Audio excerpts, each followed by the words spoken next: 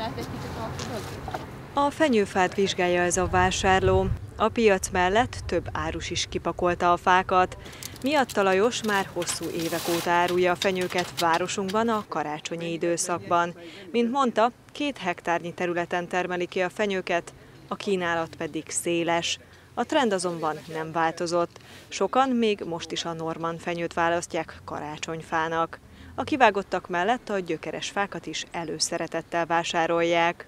Tavalyi nem változott, mert ugye tavaly is a Normand fenyő volt a sláger, azok mennek, ugye ez nem hullik, nem potyog, tovább bírja a, a, a meleget, a nyúzást, aztán vannak gyökeres fenyőink, azt is nagyon nagy kedvelten viszik, mert ugye akinek van helyet elke, akkor kiülteti, vagy esetleg Erkély utca valahol, akkor az, az, is, to, az is tovább tart a, jobban bírja a meleget, tehát azt is jobban lehet tárolni.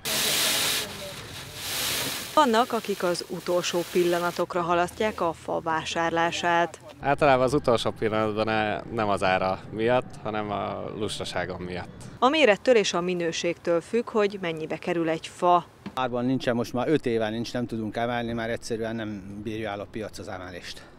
Tehát költség az rengeteg van a fányőfára, ugye ezek majdnem 20 éves fák, azért 20 év alatt sokat kell permetezni és, és gondoskodni róla, és egyszerűen nem tudunk emelni, már nem bírja el a, a kereslet, tehát a piac az emelést. Az őstermelő elmondta, sokan vannak, akik csak fenyőágakat vásárolnak, főleg az idősebb korosztály.